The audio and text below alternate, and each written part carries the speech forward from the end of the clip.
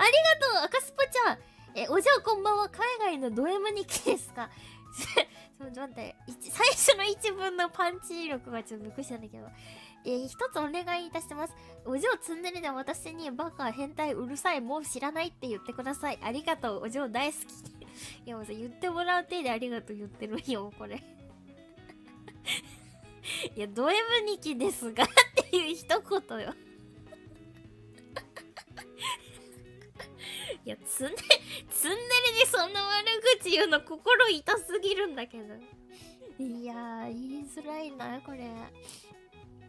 えー、バカ変